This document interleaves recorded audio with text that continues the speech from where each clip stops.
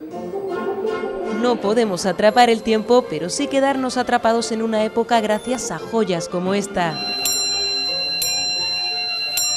Es el tic-tac de los 300 relojes del Museo del Tiempo de Jerez, piezas del siglo XVII, XVIII y XIX que como todos esta noche tendrán que marcar una hora menos.